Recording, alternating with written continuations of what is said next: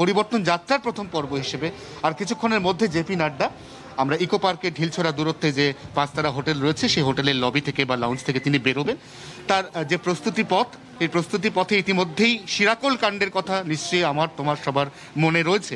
ঠিক দু মাস আগের ঘটনা। এই শিরাকোল কাণ্ডের পুনরাবৃত্তি ঠেকাতে, অন্তত বিমানবন্দরটুকু যাওয়ার পর্যন্ত রাস্তাতেও, যাতে কোনোভাবে তাকে কালো পতাকা না দেখানো হয়, যাতে কোনোভাবে তার কনভয়কে আক্রমণের শিকার না হতে হয়, তার জন্য নিশ্চিদ্র নিরাপত্তার ব্যবস্থা রয়েছে এবং তাৎপর্যপূর্ণভাবে ঠিক শিরাকোলের ঘটনার আগে যে ইস্যুটা রাজ্য রাজনীতিতে তোলপাড় হয়ে গিয়েছিল, যে রাজ্যের তরফে সেখানে কোনো পাইলট কার, রাজ্যের তরফে সেখানে কোনো নিরাপত্তা দেওয়া হয়নি, ঠিক এই জায়গা থেকে এই মুহূর্তে রাজ্যস্তরীয় নিরাপত্তাটাও ভয়ঙ্কর আঁটোসাঁটো।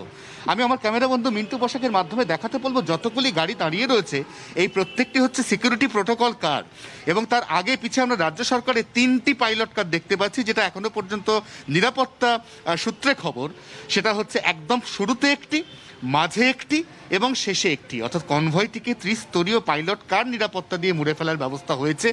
এখান থেকে আর মিনিট দশেকের মধ্যে বিজেপি সভাপতি জেপি নাড্ডা, তিনি বেরিয়ে সরাসরি চলে যাবেন দমদম বিমানবন্দরে। সেখানে বিএসএফ এর একটি বিশেষ চপার। এই চপারে করে প্রথমে তিনি যাবেন মালদা এবং তারপর যে প্রত্যাশিত কর্মসূচি, যে কর্মসূচি ঘিরে ইতিমধ্যে আক্ষরিক অর্থে বিজেপির নির্বাচনী প্রচারের প্রথম পর্ব বা প্রিলিউড শুরু হচ্ছে বলে মনে করা হচ্ছে। সেই পরিবর্তন যাত্রার সূচনা নবদ্বীপ থেকে বিজেপি নেতৃত্বের বডি ল্যাঙ্গুয়েজ কোথাও না কোথাও এটা স্পষ্ট করে দিচ্ছে। কিছুক্ষণ আগে দিলীপ ঘোষ জি চব্বিশ ঘন্টাকেও যেটা জানিয়ে গিয়েছেন, সেটা হচ্ছে তারা এই মুহূর্তে কেন্দ্রীয় নেতারা অন্য কোনো পারপাসে এলেও তাদেরকে রাজনৈতিক কাজে ব্যবহার করার চেষ্টা করছেন। তার পরবর্তীকালে, অর্থাৎ এই মাসের শেষ থেকে শুধুমাত্র এই রাজনৈতিক প্রচার করতেই এই সমস্ত নেতারা আবার আবার, বারবার পশ্চিমবঙ্গের বুকে আসবেন, এমন ইঙ্গিতও দিলীপ ঘোষ দিয়ে গিয়েছেন। অনির্বাণ। আপাতত তোমাকে ধন্যবাদ অয়ন কথা বলছিলাম আমাদের প্রতিনিধি অয়ন ঘোষালের সঙ্গে। যে কথা হচ্ছিল অয়নের সঙ্গে, ডেস্টিনেশন নবান্ন আর রাজ্য পরিবর্তনের লক্ষ্যে পরিবর্তনের রথ ছোটাতে চায় গেরুয়া শিবির, যার নাম দেওয়া হয়েছে পরিবর্তন যাত্রা। একুশের ভোটের আগে বিজেপি রথের চাকা এখনও গড়ায়নি, কিন্তু রথ নিয়ে তুঙ্গে উঠেছে রাজনীতি। রথযাত্রার অনুমতি চেয়ে সোমবার মুখ্য সচিবকে চিঠি দেয় রাজ্য বিজেপি। রথযাত্রার অনুমতির জন্য স্থানীয় প্রশাসনের কোর্টে বল ঠেলে দেয় নবান্ন। বৃহস্পতিবার নবদ্বীপে রথযাত্রার অনুমতি দেয় কৃষ্ণনগর জেলা পুলিশ, কিন্তু প্রশ্ন অন্য জায়গায়।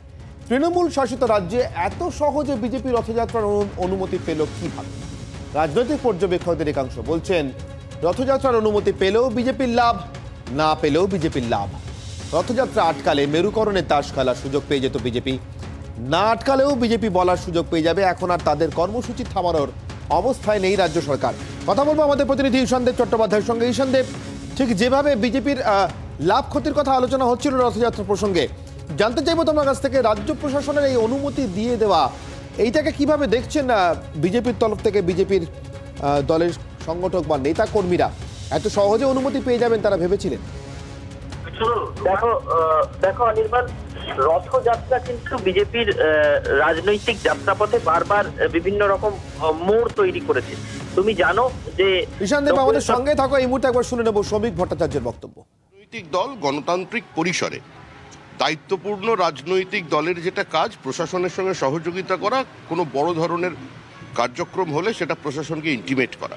আমরা সেভাবেই জানিয়েছি, প্রশাসন আমাদের বলেছিলেন মানে উপদেশ দিয়েছিলেন যে আমরা যেন ডিস্ট্রিক্ট অ্যাডমিনিস্ট্রেশনের কাছে যাই। তো আমরা সেখানে অ্যাপিয়ার করেছি, তাদেরও আমরা জানিয়ে দিয়েছি আমাদের ঘোষিত কার্যক্রম। আমরা আশা করব যে গতবারের পুনরাবৃত্তি এইবারে হবে না, আমাদের পরিবর্তন যাত্রা নির্ধারিত আছে। আমাদের নির্ধারিত কর্মসূচি মেনেই একদম দিন, ক্ষণ, নির্ঘণ্ট, রুট, সমস্ত কিছু এক রেখেই শান্তিপূর্ণভাবে আমাদের এই যাত্রা চলবে। এটাই আমাদের কাছে কাম্য। কথা বলছিলাম আমাদের প্রতিনিধি ঈশানদেব চট্টোপাধ্যায়ের সঙ্গে। তার আগে শুনছিলাম বিজেপির মুখপাত্র শ্রমিক ভট্টাচার্যের বক্তব্য এই রথযাত্রা প্রসঙ্গে। ঈশানদেব তুমি যে কথা বলছিলে। যে কথা বলছিলাম অনেকবার রথযাত্রা কিন্তু বিজেপির রাজনৈতিক যাত্রাপথে বারবার বড় বড় বাঁক তৈরি করেছে। যেমনটা তুমি জানো, বিজেপি কিন্তু গোটা ভারতে ঝড় তুলেছিল লালকৃষ্ণ আডবাণীর যে রথযাত্রা দিয়ে, সেই সোমনাথ থেকে অযোধ্যা পর্যন্ত রথযাত্রা। সেই রথযাত্রা কিন্তু গোটা দেশের রাজনীতিকে নতুন বাঁকের সামনে দাঁড় করিয়ে দিয়েছিল এবং তারপর থেকে বিভিন্ন সময়ে রাজ্যের নির্বাচনে, বিভিন্ন রাজ্যের নির্বাচনে হোক বা বিভিন্ন সাধারণ নির্বাচনে, লোকসভা নির্বাচনে, বিজেপি বারবার এই রথযাত্রার আশ্রয় নিয়েছে নিজেদের কথা এবং নিজেদের ভাবধারা সাধারণ মানুষের কাছে বা জনতার কাছে পৌঁছে দেওয়ার জন্য। এই রাজ্যেও কিন্তু রথযাত্রা এই প্রথম নয়, একাধিকবার হয়েছে এর আগেও। কিন্তু তার মধ্যে দু হাজার লোকসভা নির্বাচনের আগে যে গণতন্ত্র বাঁচাও যাত্রা নাম দিয়ে যে রথযাত্রা বিজেপি পার করতে চেয়েছিল, সেইটাই সবচেয়ে বেশি করে শিরোনামে চলে আসে। তার কারণ, তার আগে পর্যন্ত বিজেপি এ রাজ্যে এতই প্রান্তিক শক্তি ছিল যে বিজেপির কোনো রথযাত্রাকে সেভাবে প্রশাসন গুরুত্ব দিয়ে বা শাসক দল গুরুত্ব দিয়ে দেখেনি।